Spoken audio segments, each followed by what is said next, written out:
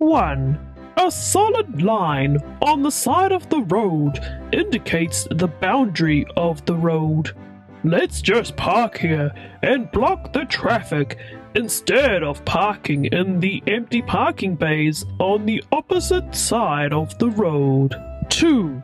Let's continue to block the sides of the road and also stick my ass out when in the parking bay. 3.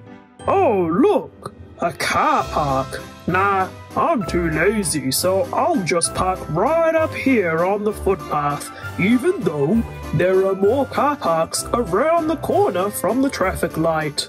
Comment below on inconsiderate parking that you have come across.